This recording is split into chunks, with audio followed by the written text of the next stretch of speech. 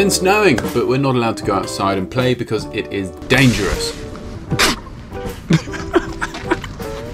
So today we're making a sidecar. I'm gonna make this really simple. It's a shaken cocktail, fine strained into a cocktail glass or coupette. Three ingredients, brandy, lemon juice, triple sec. The recipe you follow will either be equal measures of all three ingredients or they'll favor a larger measure of the brandy. I'm gonna be using an exceptional brandy Seven Tails, so I'm gonna go with a larger measure of the brandy so that I can taste that in the cocktail. I'm gonna go with a 50ml measure of the brandy, juice of half a lemon, I'm just gonna use the triple sec to balance out the acidity. So here we go, into the shaker, brandy, lemon juice, triple sec. And yes, the more mature audience member may have spotted the fact that I'm using Cointreau from the 1940s, because I can.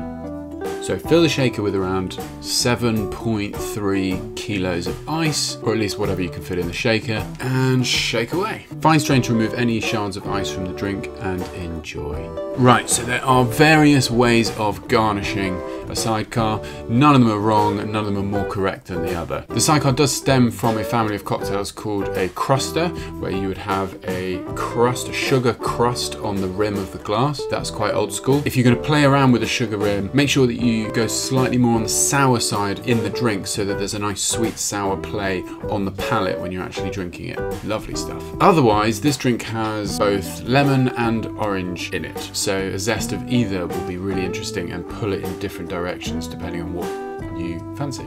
Right, now we've got that out of the way, there is a reason that we are making a sidecar today. And it is not just because it's a delicious drink. So in last week's video, we tackled light spirit with citrus, the daiquiri. This is all about how a dark spirit can work with citrus. And the sidecar is a perfect example. How to take a barrel-aged product that is rich and spicy with notes of dried fruit and vanilla and get that to work with the sharp acidity of the citrus. So as a general rule of thumb, when playing around with citrus in cocktails, this is, this is simple, but it is so valuable, such valuable information. If you're using a spirit from the uh, Americas, tequila, mezcal, rum, then use a lime. If you're playing around with a spirit from Europe, etc., then use a lemon. Vodka is neutral, so it'll work with either.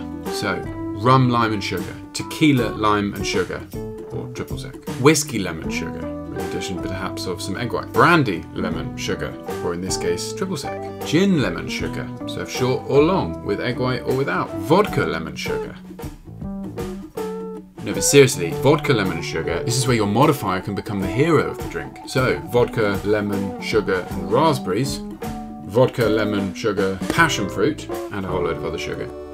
Do you see where I'm going with this? Do you see where I'm going with this? Spirit citrus sweet and or a modifier is the basic makeup of countless cocktails. One more example for you. Rum, lime and sugar. Wait, we've done that. Add mint, serve it long. Suddenly it's a mojito. Guys, you're welcome. See you next week.